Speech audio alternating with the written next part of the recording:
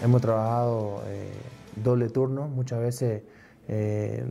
en la mañana dos horas para poder llegar muy bien al partido. Trabajamos eh, pase, conducción, formación táctica y, más adelante capaz que trabajemos como que veamos los videos del adversario y, lo trabajemos encima de eso también. Pero hay que concentrarse un poquito más, hay que tener esa, esa mente de que podemos ganar los partidos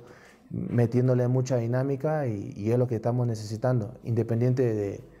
de cuál selección venga a jugarnos, eh, nosotros tenemos que tener nuestra,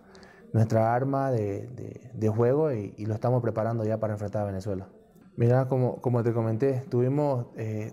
tres fechas muy, muy clave para Bolivia, eh, en la cual en las tres estuvimos ganando los partidos en el primer tiempo y, capaz que nos esté faltando un poco más de, atención, de concentración eh, de todo el grupo para poder ganar, para poder ganar esos partidos que son importantes para, para nuestra selección y lo vamos a intentar hacer contra Venezuela.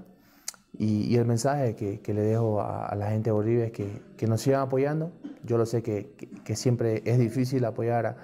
a, la selección boliviana por, por resultados que muchas veces no se vienen, pero juntos eh, podemos salir adelante, juntos podemos eh, mejorar a cada día y, el sueño eh, está intacto todavía de poder ir a un mundial. Ganando puede pasar muchas cosas,